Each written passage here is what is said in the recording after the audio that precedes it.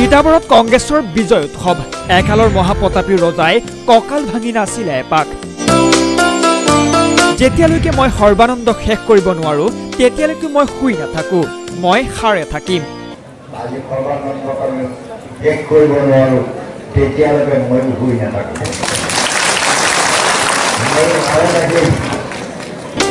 পঞ্চায়ত নিৰ্বাচনত প্ৰাক্তন মুখ্যমন্ত্ৰীৰ গৃহ সমষ্টি তিতাবৰত কংগ্ৰেছ বৃহৎ জয়ৰ পাছতে তিতাবৰ ৰাজীৱ গান্ধী ক্ৰীড়া প্ৰকল্পত আয়োজন কৰা হ'ল বিজয় উৎসৱ।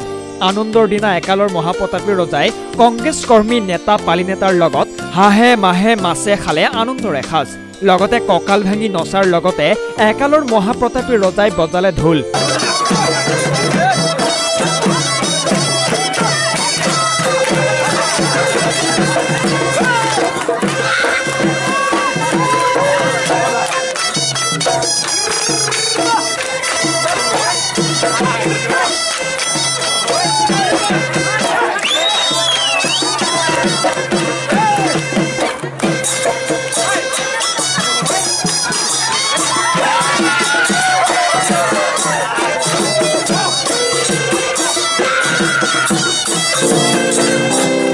মুকলি খেলপথাৰত নৱনিৰ্বাচিত পঞ্চায়তজন প্ৰতিনিধিৰ সৈতে তৃপ্তিৰে খালে আনন্দৰ এসাঁজ প্ৰাক্তন মুখ্যমন্ত্ৰীজনে ভাষণকালত কয় যে যেতিয়ালৈকে মই সৰ্বানন্দক শেষ কৰিব নোৱাৰো তেতিয়ালৈকে মই শুই নাথাকো মই সাৰে থাকিম।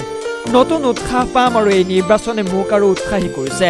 ৰাইজৰ এই সমৰ্থনে মোক আৰু ডেকা কৰিছে। এই ডেকা তেজে মই সৰ্বানন্দক পৰাজয় কৰি হেৰিম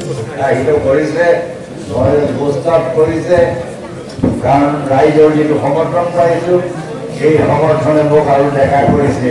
এই ডেকা কৰিলে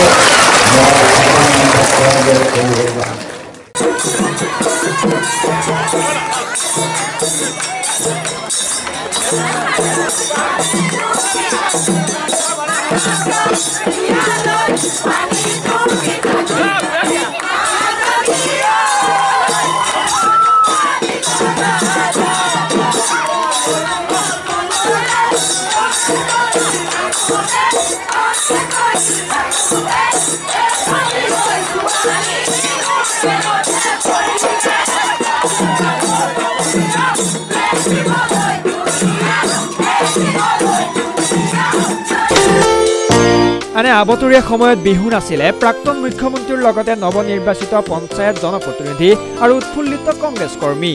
তিতাবৰৰ পৰা ছাজিদ হুছেইন টাইমছ গুৱাহাটী।